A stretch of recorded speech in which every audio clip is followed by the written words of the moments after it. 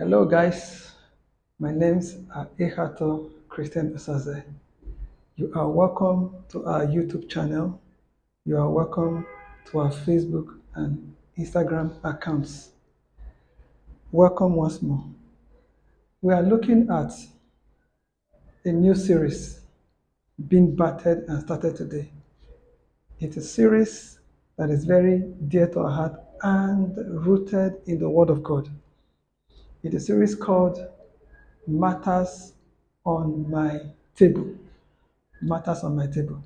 Now, Matters on My Table focuses on issues big and small, issues that trouble business leaders and departmental heads and heads of businesses and head of ministries, founders and associates in businesses.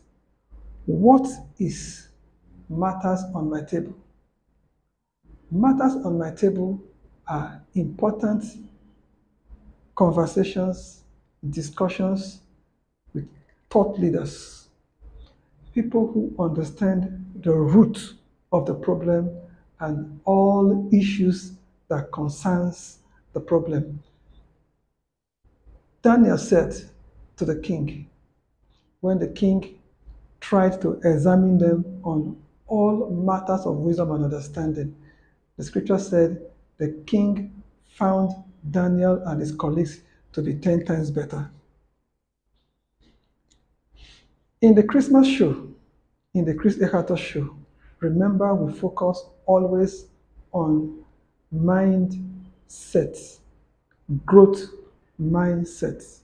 Now, the series will be kickstart with a broad new heading. We are looking at Christmaths Academy and Leadership Mindsets. Academy and leadership. Every academy is basically about training, teaching, instructions, trying to get young people to be attuned to leadership or to the roles they will play in the future. Now, the first series on matters on my table, we are looking at Psalm 23. There are elements to bring up from Psalm 23. It says, The Lord is my shepherd. I shall not want. He maketh me to lie down in green pastures. He leads me beside the still waters. He restoreth my soul. He restoreth my soul. Even though I walk through the valley of the shadow of death, I would fear no evil. Right now, our country, our nation is passing through what appears to be like the shadow of death. There's a lot of uncertainty. People don't know. But the Bible said, For thou art with me, thy rod and thy staff, they comfort me. Thou preparest a table before me in the presence of my enemies. Thou anointest my head with oil, my cup runneth over. Surely, surely, goodness and mercy shall follow me all the days of my life, and I will dwell in the house of the Lord forever. Amazing, very inspiring scripture. From childhood, I have known that scripture, but it's very difficult to understand the meaning of the Lord is my shepherd. It goes beyond a pastor or a teacher in the church. The Lord is my shepherd. The Lord, not my father. The Lord is my shepherd. You cannot shepherd yourself. One of the greatest ways to, or the easiest way to escape want and lack is to allow the Lord to be your shepherd. So, on this series, Matters on My Table, we are going to be having several thought provoking conversations, big and small matters. We will bring them before the table. We will make it plain.